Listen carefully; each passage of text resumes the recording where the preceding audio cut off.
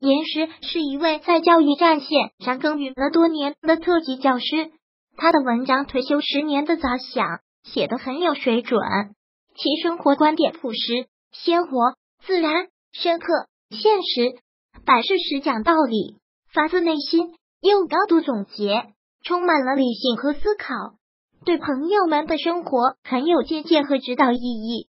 他告诫了我们该如何树立科学、正确的生活观。生存观、价值观，并用这些观念实践自己的生活和价值。朋友们可以从中体会、品味。退休十年咋想？十年前，我们老了，退休了，终于卸下了沉重的使命。我们这一代人的一生过得很艰难，环境苦，工作累，工资低，负担重。我们这一代人也很豪迈，觉悟高，心胸宽，责任重，贡献大。撑起了共和国最艰难的时期，如今退休了，很多人继续奉献，发挥余热，服务社会；还有的人二次创业，名利双收；有的请其所有换大房，为的儿孙大团聚是有足够的空间；有的节俭储蓄，为的大病就医，或是为这个条件好的养老院；有的服务子女，是猴儿孙，为的动不了的时候。能得到儿孙的床前关怀。我和老伴是同时退休的，夫妻双双把家还了，进入了属于我们自己的老年。我们没有再去为社会做奉献，没发挥余热，不再为儿孙操劳，不去挣钱，不攒遗产，而是试着过起了自由、轻松、自主、自信的老年生活，游山玩水，颐养天年，充分享受我们自己的夕阳人生了。我们在北方避暑，在海南过冬，春秋好季节就到全国各地去旅游。理想的路线，完全的自助，走到那住到那玩到那，天马行空，我行我素，看美景，享美食，充分享受了社会回馈给我们的美好生活，弥补了一代的缺失，找回了失去的自我。进入老年后，我们的身体和心理都会越来越脆弱。衰老是不可抗拒的自然现象，别幻想长命百岁，事不待人，做事尽量提前安排，充分利用这段能自己掌握自己的黄金时间，去做那些原来想做而做不成的事情，去圆那些几年的梦，免得躺在床上动不了时再后悔。退休了，对于我们应该担负的社会和家庭的责任已经完成，该是社会和儿女关照我们的时候了。但是对亲人、对儿女，以致对社会都别抱太多的希望，要有最坏的思想准备。没有希望就没有失望。我们做贡献是无条件的，而索取就有条件了。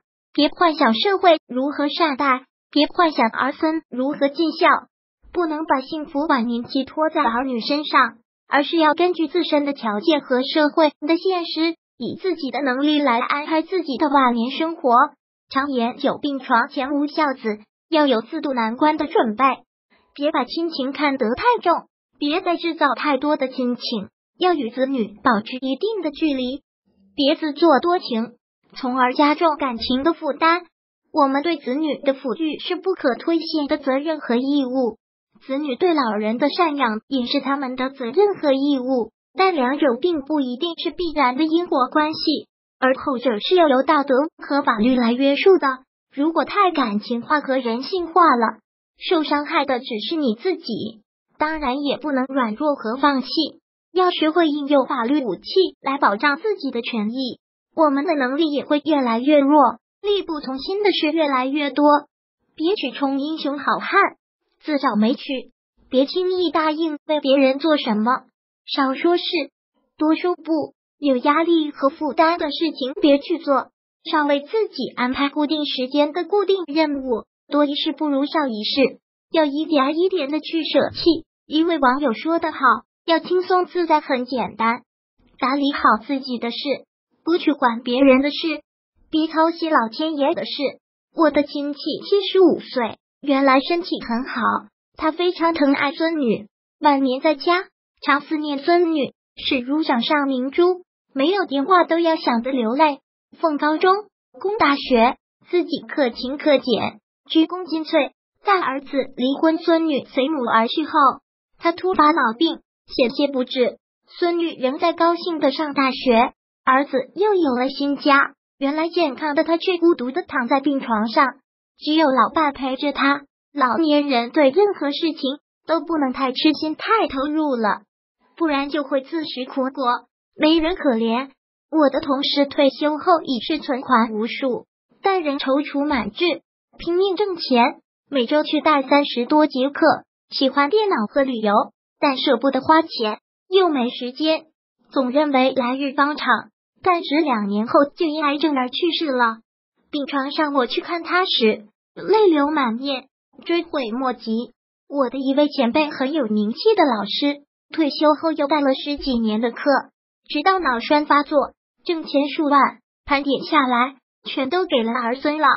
他们要结婚，要买房，钱不够，而老子的钱又闲在存折上，哪好意思不拿出来呢？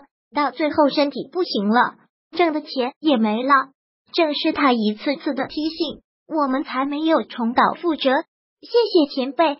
大多数的老年人都不服老，自信、自负、执着、痴心，总以为自己人和年轻一样的无所不能，做事顺利方面考虑的多，而风险却很少考虑。其实六十岁以后，大部分老人都有不同程度的衰老的表现，体力下降，记忆减退。思维局限，反应迟钝，出现事故的几率增加，心理承受能力减弱，已经不再适合做一些复杂、繁琐、责任重大、时空精确的工作。不然，为什么规定要退休呢？在我度下的一滩海滨，有一对退休老人在海边买了房子，安度晚年，多美的事！但非要把正放暑假的孙女接来玩海，不料孩子溺水身亡。美好的晚年成了噩梦，自己毁了自己的晚年。而那个夏天就发生了两起这样的事。小区里几个老太太在负责照管孙辈时，常在一起唠家常，孩子们在周围玩耍，一派祥和，其乐融融。可该回家时，一个三岁的男孩竟然找不到了，几年来杳无音信。这位奶奶的晚年生活可想而知了。所以我想。我们老年人首先要把自己的事情管好，少给社会和子女添麻烦，也就是贡献了。执意去做超越自身能力的事情，不但会误了事情，还会惹了麻烦，甚至酿成事故。倒不如颐养天年，养尊处优，装聋作哑，难得糊涂，自娱自乐。老年人可以有好多事情可做，比如琴棋书画、吹拉弹唱、煮酒品茶、吟诗作赋。网上遨游、登高望远、旅游观光、美食烹饪，自己经营好自己的丰富多彩、舒心安逸的晚年生活吧。后记：一天马行空，我行我素。如果自己有闲钱，就看美景、享美食，充分享受社会回馈给我们的美好生活，弥补我们这一代的缺失，找回失去的自我。而我们为国家、为儿女做贡献是无条件的。而索取就有条件了，别幻想社会如何善待，别幻想儿孙如何尽孝。三没有希望就没有失望，只有身体能自理，就要与儿女分居，独立生活，不能把幸福晚年寄托在儿女身上，而是要根据自身的条件和社会的现实，以自己的能力来安排自己的晚年生活。四常饮酒病床前无孝子，要有自渡难关的准备。要与子女保持一定的距离，不要把痛苦困难总对儿女讲，否则孩子们会翻你的。务别把亲情看得太重，别再牵动太多的亲情。到了人老没用的时候，亲情已经对你敬而远之。不要自作多情的去惦念别人，从而加重感情的负担。六，如果太感情化和人性化了，受伤害的只能是你自己，也不能软弱和放弃。要学会应用法律武器保障自己的权益，其别取出英雄好汉，自找没趣。别轻易答应为别人做什么，少说事，多说不。有压力和负担的事情别去做，少为自己安排固定时间的固定任务。八多一事不如少一事，要一点一点的舍弃，要轻松自在，很简单。打理好自己的事，不要去管别人的事，别操心老天爷的事。九，首先把自己的事情管好，少给子女添麻烦，也就是贡献了。子女多的老人，尽量不要留有遗产，免得子女们为争夺家产打官司。有经济能力的老人，要把自己的最后一笔丧葬费也预留出来，这样儿女们才能心安理得送好你最后一程。临时意去做超越自身能力的事情，不但会误了事情，还会惹了麻烦，甚至酿成事故。一众老年人对任何事情都不能太痴心、太投入了，不然就会自食苦果，没人可怜。